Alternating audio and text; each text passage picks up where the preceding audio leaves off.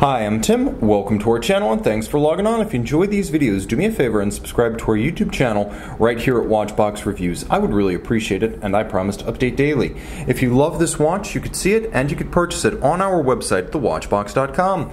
And today we are launching a model first seen in 1983 onto the tube. I cannot believe that I have failed to review the Audemars Piguet Royal Oak Date Moonphase. The 25594ST, along with the Perpetual Calendar, is one of the oldest complications in the Royal Oak catalog. And the timepiece on my wrist is a lovely and slender 36mm steel complication from the late E series, so roughly late 1990s. This watch was in production for a long time, sometimes dubbed the Owl and the Moon. You can see it has the image of the Date Owl reference plus a moon phase because owls come out at night. Now, the watch watch is easy to wear on my 16 centimeter circumference wrist, though like all Royal Oaks, it does wear larger than its nominal size. Think of this one more as a 39 millimeter if you want to get the size, because across the wrist there are two different ways of measuring it. You can measure it lug to lug, in which case the case itself spans 46.5 millimeters. Okay, not that large, but then you add these intermediate links, these two plots at the end, and they do create a little bit of rigid flare. You see that? There's even a little bit of a billowing outside the end of the case. So this watch wears like a 39 millimeter round round timepiece wood. It's not thick, however. I measured at 9.4 millimeters, so it sits low on the wrist and it'll easily slide underneath the dress cuff. These mid-size Royal Oaks are a great value because you're getting a steel Royal Oak with all the hand finishing and exclusivity that entails. And of course, you're also getting that wonderfully finished Royal Oak bracelet with complication. The timepiece, handsomely finished as all Royal Oaks are, it takes approximately five hours to finish this bracelet by itself, and the case is an entirely separate assembly. There is a flaring bevel that expands in lovely geometric fashion from the mid case to the lug hoods, and then it continues perfectly aligned along the flanks of the bracelet. You'll also appreciate that there are little polished ends to these plots their inner faces are polished, and you can only see that glossy gleam as you roll the bracelet through the camera, so there's finishing where you can barely even see it. Perfectly aligned satin across the tops of the links. You can see there is vertical satin on the flanks, and the bracelet is fixed in place by screws. So all removable links fixed by screws, distinctly different from today's Aquanaut and Nautilus bracelets that are pin sleeve affairs.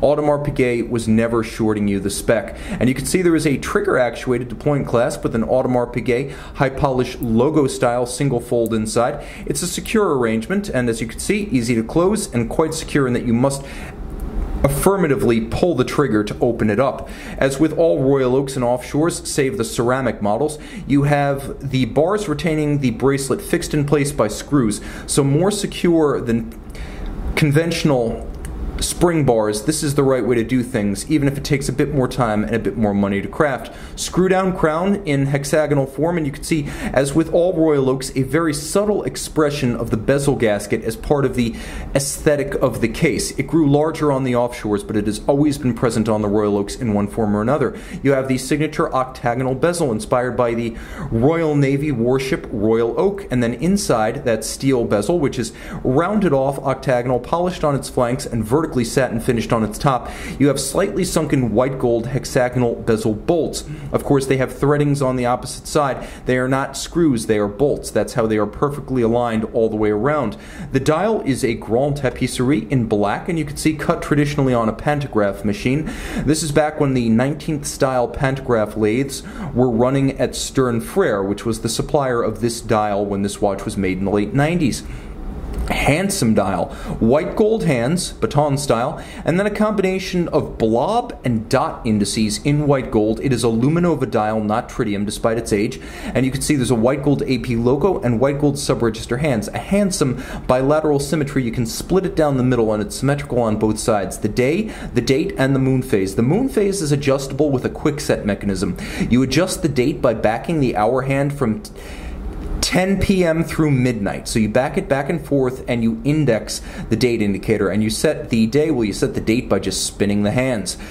50 meters water resistant and underneath that caseback, which by the way is a monoblock construction. There is no separate caseback on this watch. It's constructed in the same fashion as the original Gerald Genta designed Jumbo, so this is a true 50 meters swimmable water resistance when the watch is freshly serviced. The monoblock case construction exceptional, and then on the inside you have a JLC 889 based automatic. This is known as the 2224 and the 2825. Automatic winding, it is a 38 to 40 hour power reserve, beating away at 28,800 vibrations per hour. It has a 22 carat high grade gold winding mass. It has stop seconds, even though the watch has no seconds sub display.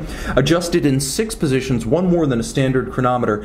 And then, of course, it features a module on top, and the two together are a 45 jewel automatic movement that is exceptionally slender, enabling this watch, though automatic and complicated, to be only 9.4 millimeters thick. A handsome and charismatic mid-size stainless steel complication Royal Oak. This is the brass ring as collectible watches go. An iconic watch from a Holy Trinity brand in real steel. See it and make it yours on the watch box. Audemars Piguet Royal Oak Day-Date Moon Phase by Night. Full Luminova dial in hands.